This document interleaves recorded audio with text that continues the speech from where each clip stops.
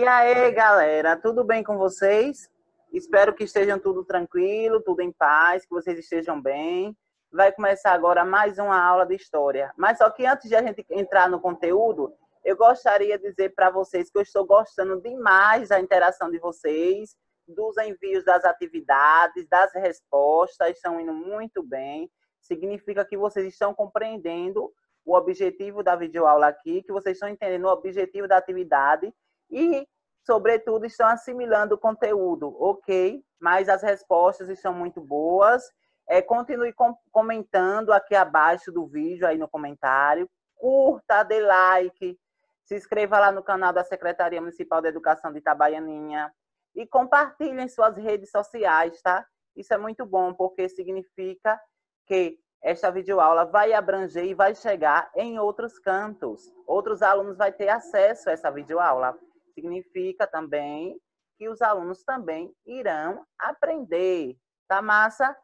Eu quero que vocês agora correm lá, pegue seu lápis, sua caneta e o seu livro de história. Hoje a gente vai utilizar ele mais do que nunca. Lembrando que a gente ainda está trabalhando a Mesopotâmia, a gente ainda não acabou esse conteúdo, ok? Não se preocupem também, irei acabar ele hoje, então dividi a Mesopotâmia em duas partes. A primeira parte, trabalhei a questão da agricultura, do comércio, da formação, do surgimento, quem eram os povos. E hoje a gente vai trabalhar, eu digo na estante, mas vai lá pegar o caderno, o caderno de vocês para a gente dar continuidade, tá beleza? Mas, é, por outro lado, estou gostando muito da participação de vocês. Isso é muito importante, muito mesmo.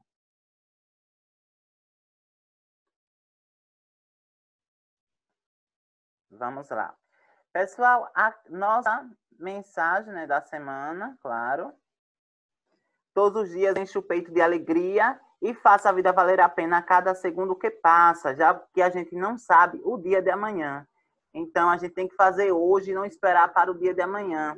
Mesmo diante das dificuldades, mesmo diante das tristezas, enfim, que a gente está passando, algum problema familiar, não perdemos a esperança de dias melhores, ok? Então, viva o momento, viva cada segundo como se fosse único. Desde já, boa semana a todos. Sou o professor Marcos e aqui abaixo, pessoal, segue meu e-mail para contato, para tirar dúvida, para é, questionar, para enviar as atividades, tá beleza? Não se preocupe que hoje o conteúdo promete, porque ele é bem fácil, né? Vamos lá. O nosso tema, Mesopotâmia, mitologia, escrita e código de Hammurabi. Aí vocês vão pegar o livro de vocês e vão colocar aqui, ó, capítulo 3, página 67. Ok? Alguma dúvida? Dê pausa aqui e coloca aí. Ok? Muito bem, isso mesmo. Vamos lá. Pessoal, apenas uma recapitulação dos conteúdos que a gente já trabalhou aqui da Mesopotâmia. A semana passada a gente trabalhou a localização da Mesopotâmia. Está, ela está entre os dois rios, que rios é Rio Tigre e isso, Rio Eufrates. Segundo ponto, a sua definição é, terra entre rios, isso é fato. É, principais elementos, o sistema hidráulico, já que a cidade se organizou a partir do rio Tigre e Eufrates. A fertilidade do solo já começava centralizada no meio destes dois rios, quando o rio enchia, fazia ali o processo de irrigação e de sistema hidráulico, e que abastecia tanto a agricultura o pastoreio, o comércio. Um elemento importante também é a pirâmide social. Lembra que a escravidão é aquela pirâmidezinha que eu passei para vocês? Isso mesmo. Em cima o rei, no meio a nobreza, não é isso? E abaixo os escravos. Muito bem. Falei sobre o jardim suspenso, que foi criado por Nabucodonosor de Mossul, um dos primeiros jardins suspensos do planeta Terra, tá? E aí o quarto ponto que foi a herança dos povos mesopotâmicos. Lembra a questão que eu falei do artesanato, da cerâmica? Lembra da cerâmica? A cerâmica, pessoal, tem origem, sobretudo, na Mesopotâmia, ok? Durante aí a história antiga, mas é uma herança que perpassa os tempos e que está nos dias atuais inclusive na cidade de Itabaianinha, referência é, na questão do comércio da cerâmica, não é isso, pessoal? As olarias aí, as cerâmicas, as, até mesmo as fábricas de, de, de, tecido, como técnicas de trabalho. Então, tudo isso aí tem origem lá no Oriente Médio, tá? Mas está presente no nosso dia atual. Beleza? Olha como a história é boa de se ouvir, não é isso? Vamos lá. Aí o conteúdo de hoje, bem básico. Primeiro, mitologia, pessoal. Mitologia significa o estudo das, das fábulas. Como assim, professor, estudar das fábulas? Significa que a gente vai contar a história dos três porquinhos, da Chape, Chapeuzinho Vermelho? Não, não é necessariamente isso. Pessoal, mitologia significa mito, fábula, logia, estudo. Então, são estudo das histórias que tentam explicar a origem do ser humano, que tenta explicar a origem do planeta Terra e suas relações que o homem estabelece. Como assim, professor? Olhe, vamos trabalhar. Quais eram as ideias mitológicas que existiam na Mesopotâmia sobre o surgimento da Mesopotâmia? Quem foram os primeiros homens que habitou a Mesopotâmia? Aí a mitologia uma fábula, uma história, tenta explicar o surgimento da Mesopotâmia. Beleza? Vamos lá. Mas antes de eu dar continuidade, eu quero que vocês prestem atenção muito nesse ponto. Assim como a maioria dos povos da antiguidade, os mesopotâmicos eram politeístas. Lembra que falei aula passada que acreditavam em vários deuses? Muito bem. Na Mesopotâmia, um incontável panteão de deuses e semideuses fazia parte da religião. Ótimo. Existiam dois tipos de deuses. O Deus, que era o centro, e existia o semideus. Primeiro, o centro, abaixo do centro, o semideus. Professor, quem era esse semideus? Esse semideus eram as pessoas da terra, ok? Pessoas que estavam ligadas na terra e que faziam ali o processo de conexão com os deuses divinos. Professor, significa que isso é verdade? Pessoal, estou falando de mitologia. É uma fábula. Tá? Então vamos lá. Existia aqui o Deus, o Deus do céu, Deus do ar, Deus da água, Mãe Terra. Foram eles que, através de suas palavras, teriam criado o mundo. Desse mito, talvez tenha nascido a crença no poder das palavras divinas. Então, olhe, baseado na mitologia mesopotâmica, o mundo surgiu, o mundo foi criado a partir do Deus da água e Deus da terra.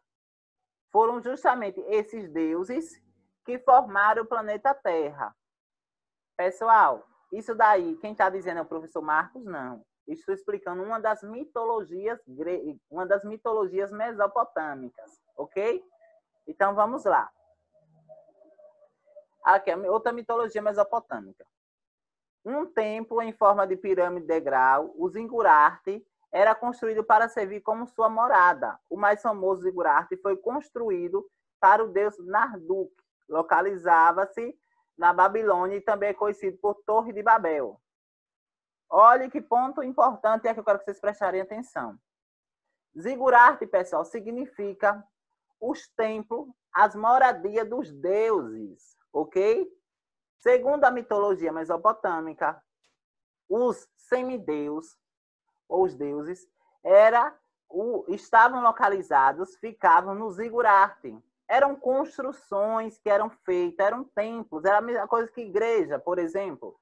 Se a gente parar para observar, é, não de, no aspecto da religião católica, onde Deus está localizado. A gente sabe que Deus está em todos os cantos, não é isso? Mas onde é que se encontra o corpo e sangue dele, necessariamente, especificamente? Na igreja. Então ali é um templo de Deus. Na mitologia grega, esses deuses, o deus da água, o deus da terra, se encontravam no Zigurarte. Zigurarte eram grandes construções e ali se tornava suas moradia. Beleza? Uma das construções maiores da Mesopotâmia, uma das construções maiores do Zigurarte, localiza-se na Babilônia, tá bem? Que é justamente conhecido como a Torre de Babel. Beleza? Professor, e quais são as características desses deuses? Olha aqui, preste atenção, beleza? O que chamamos de antropoformismo. Os deuses eram antropoformismo. Eles tinham relações semelhantes com a do homem. Por exemplo, eles poderiam casar-se, tinham filho, tinham ataques de fúria, às vezes de amor, eram melancólicos, alguns preguiçosos, invejosos, alegres, caridosos. Então, existiam diversos comportamentos que era ligado a uma característica do homem, tá? Do homem, mas os deuses também tinham esses comportamentos, ok? Aí agora é que eu quero que você chame a atenção aqui para um ponto. Veja a questão da diversidade religiosa. Se a gente pegar aqui algumas igrejas que auto se intitula como um protestante ou evangélica, vamos pegar aqui a figura do pastor. A gente sabe que a figura do pastor é, pode ter relação com a mulher, né, dentro dos princípios da, da religião dele, pode ter relação, casar-se e ter filho, não é isso? Olha o ponto. Mas se a gente pegar aqui o princípio da Igreja Católica, o padre pode casar? Não. O padre pode ter filho? Não. Vocês conseguem perceber a diferença? Então, tem um conjunto de diferenças e semelhança.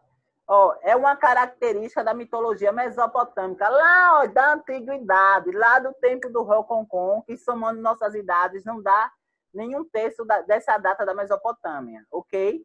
Mas se a gente parar para observar suas características, a gente vai perceber, pessoal, que dentro da igreja evangélica ou protestante existem características semelhantes. Olhem, poderiam casar-se, poderiam ter filhos, não é isso? A questão do extremo amor, da alegria, da questão da caridade dentro do aspecto da religião católica, a gente já percebe uma diferença. Significa que a Igreja Católica está errada aos princípios? Não.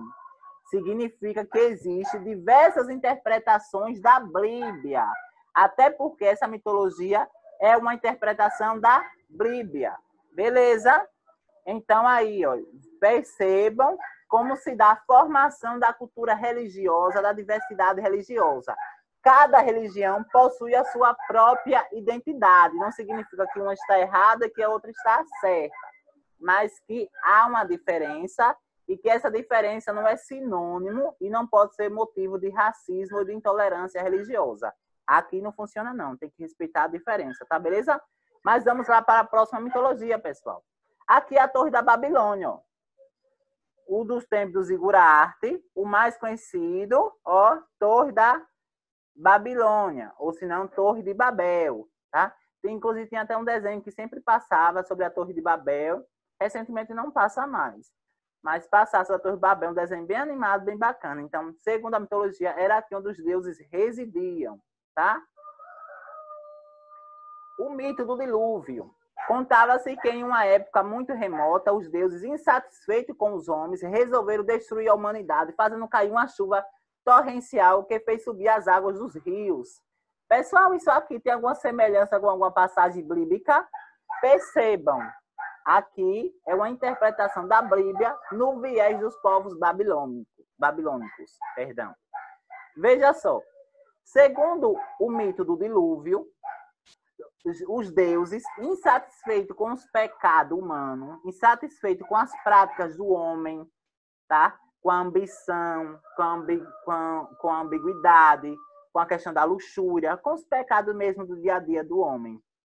É, os deuses resolveram jogar, lançar é, justamente uma destruição sobre a terra. E essa destruição ficou conhecida como a inundação dos rios. Então, a terra foi tomada pelos rios. Isso lembra o que dentro da Igreja Católica e dentro da Igreja evangélica, protestante e tudo mais. Lembra? Lembrem aí da barca que o rio enche, né? Isso, o mar ultrapassa lá o limite e tudo mais. Lembra justamente o que, pessoal? A barca de Noé. Olhem, vejam a semelhança. Justamente porque se trata de uma interpretação. É uma mitologia mesopotâmica, mas que está presente dentro da, dos versículos da Bíblia. Ok, pessoal? Isso aqui é um dos das mitologias grega, o dilúvio, que inclusive tem até uma pergunta lá na, na atividade. Tá massa? Vamos lá. Outra característica, pessoal, a escrita cuneiforme. Você, sabe, você já parou para pensar como a escrita teve início? Vocês pensaram que a escrita surgiu através da letra A, B, C, D, F, o alfabeto? Não, pessoal, pelo contrário. A escrita primeiro surgiu através de símbolos.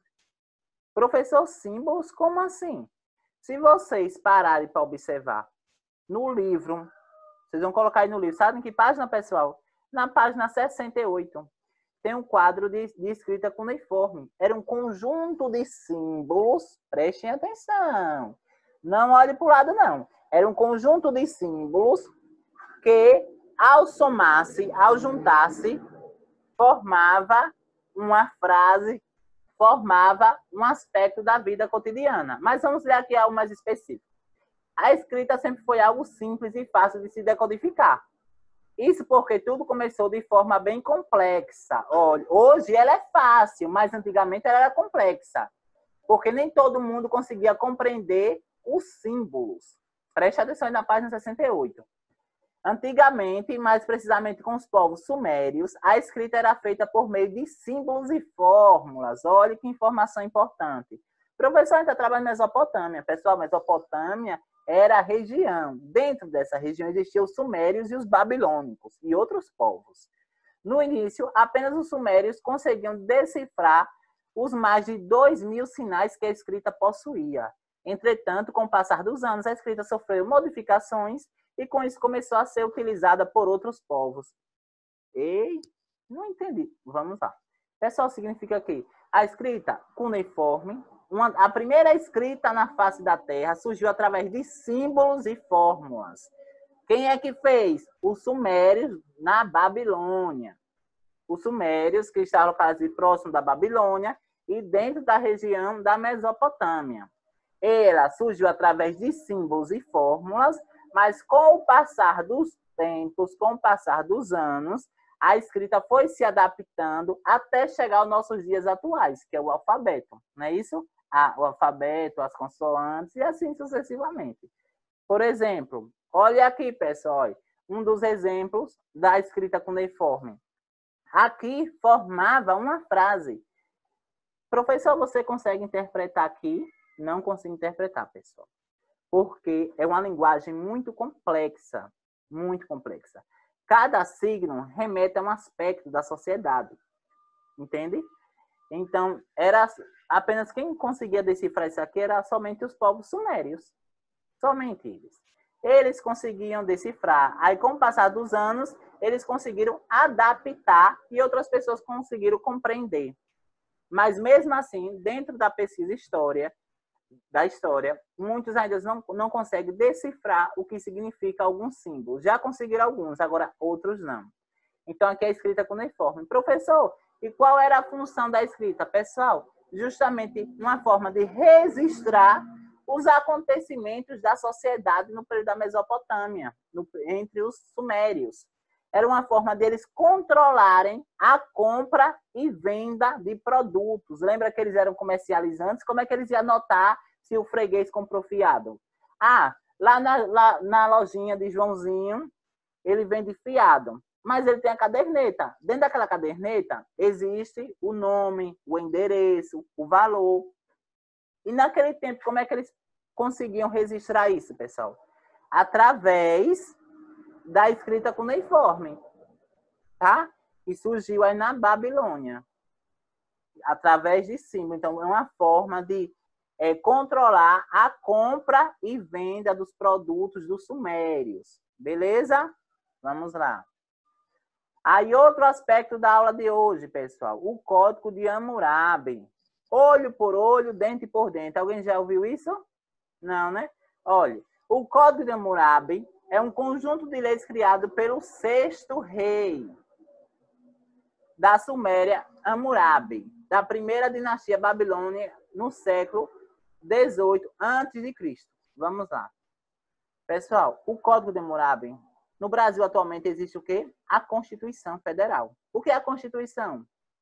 É um conjunto de leis, várias, várias leis reunidas que tenta normalizar, que tenta é, criar um padrão de como os indivíduos, de como o homem vai é, viver, vai sobreviver durante o seu dia a dia. Né? Justamente isso. O Código de Hammurabi tem semelhança. É um conjunto de leis que vai é, criar comportamentos de como o homem deve conviver com outros homens, com outras pessoas, durante a região da durante e na região da Mesopotâmia, tá? Foi criado pelo rei da Suméria, Hammurabi. Por isso que o nome é Código de Hammurabi, conjunto de lei de Hammurabi. Beleza? Professor, e o que é que essas leis vêm dizer? Se vocês, pessoal, colocarem na página, ó, eu peço aqui, estou acompanhando pelo didático, tá? Vocês vão colocar aí na página, pessoal, na página 70, tem lá Código de Hammurabi. No artigo 195, vem dizer assim, ó. Se um filho bateu em seu pai, cortarão a sua mão. Olho por olho, dente por dente. Se você, Joãozinho, dá um tapa é, no rosto de Maria, significa que Maria tem o direito de dar um tapa em seu rosto, de devolver o tapa. Joãozinho, se você retirar um olho de Maria, Maria tem o direito também, juntamente com as autoridades, de retirar um olho seu. É olho por olho, dente por dente. Professor, mas é só olho e dente? Não. Se você dá um tapa em sua mãe ou em seu pai, baseado na lei da Mesopotâmia, no Código de Hammurabi, significa que sua mão será cortada, porque é olho por olho, dente por dente. Aí eu trago aqui para vocês o artigo dos, ó, o outro artigo, artigo 196. Tá bem aí? Se destruir um olho, o outro será destruído. Se você destruir o olho de alguém, de uma pessoa ou de um animal, o seu olho será destruído também. Justamente devido a essa questão. Olho por olho, dente por dente. Se você bate, você tem que receber do mesmo jeito. Ok? Se você apanha, você tem que devolver do mesmo jeito. Ah, ó, quantas leis eram? 282 leis referentes ao Código de Hammurabi foram talhadas em rocha de diorito. Elas foram escritas em letras cuneiforme. Qual é a cuneiforme, pessoal? Através de símbolos, ok? E continham normas e penalidades. O objetivo principal do código era unir o reino por meio de um conjunto de leis gerais. Para atingir o seu propósito, o rei de Hammurabi mandou destruir cópias do código por todas as partes do reino. Pessoal, o que é que eu quero deixar claro para vocês aqui? Não existia folha de ofício ainda. Tá? Então, como é que ele distribuiu? Através de monumentos. Eles faziam um símbolo em grandes rochas, conhecido como diorito, e essas rochas eram distribuídas entre os povos, e essas rochas ficavam em praça pública, ou se não, em espaços das autoridades, porque ali era uma lei, e aquela lei deveria ser cumprida. Se alguém roubasse, teria que pagar e teria o quê? Pena de morte. Se você matasse uma pessoa, você deveria ser morto. Se você roubasse uma propriedade, você teria que pagar o que você roubou e teria que se tornar escravo do dono daquela propriedade, tá? Era justamente isso. Se alguém enganar o outro, difamando esta pessoa, e, esta, e este outro não puder provar, então aquele que enganou deverá ser condenado à morte. Você sabe o que é isso, pessoal? É fofoca.